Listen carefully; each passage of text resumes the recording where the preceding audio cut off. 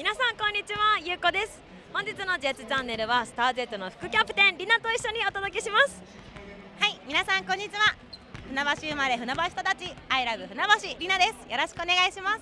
昨日千葉ジェッツは見事レバンガ北海道に激闘を制し勝利し今とても絶好調です。本日も必ず勝利し連勝記録を伸ばしていきましょう。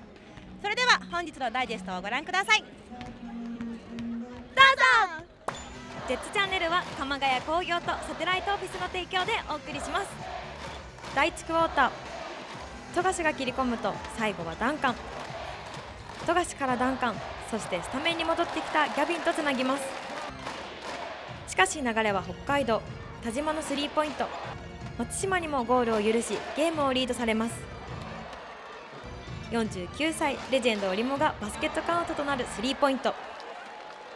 ダンカンがターンでかわしアンドワン。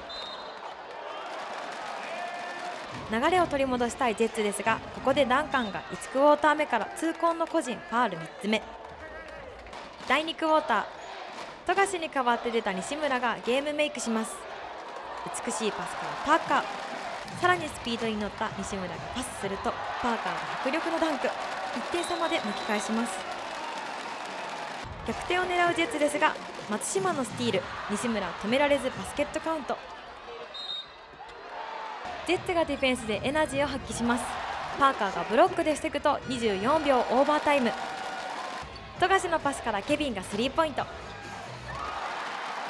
対する織茂もバンクショットで3点。前半終了間際トラソリーニにボールを奪われるとそのままダンク。北海道が9点のリードで後半へ。第3クォーターファールトラブルの千葉はトラソリーニを止められません。パスからディフェンスを崩されミークスにイージーバスケットを許し13点差。オープンになった田口がスリーポイント。ダンカンがステップでディフェンスをかわし2得点。富樫がパスをカットされると一気にファストブレイクを受けまたしても10点差。パーカーがアンスポーツファールとテクニカルファールを同時に取られファールアウト。4つの個人ファールを抱えるダンカンがコートに戻ります。第4クォーター富樫がペネトレートからダブルクラッチ。外れたボールをダンカンがカバーしバスケットカウント。1桁点差まで追い上げます。パスで北海道のディフェンスを揺さぶると最後は田口がスリーポイントを成功させます。トラソリーニが難しいショットを決めジェッツ簡単には逆転できません。富樫がスクリーンを使ってディフェンスをかわしレイアップ。ジェッツは富樫にボールを託します。一瞬の隙をついてスリーポイントを決め点差を縮めます。残り50秒4点差を追いかけるジェッツ。エース富樫が勝負どころでのフローター。2点差まで北海道を追い詰めます。田口のスリーポイントは惜しくも決められずこのまま北海道に逃げ切られ追いつけないままゲームを終えます。Chiba Jetsu no Edward Zugavin des. Uh, just play him tough. I think if we play him again like that, and I think we'll really uh, turn the things in our favor. So if we just play tough, keep getting better, I think we'll definitely come out on top next time.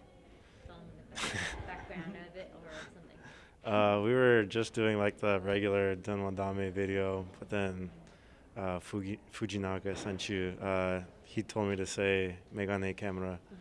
So that's where it came from. um, I don't honestly. this is not.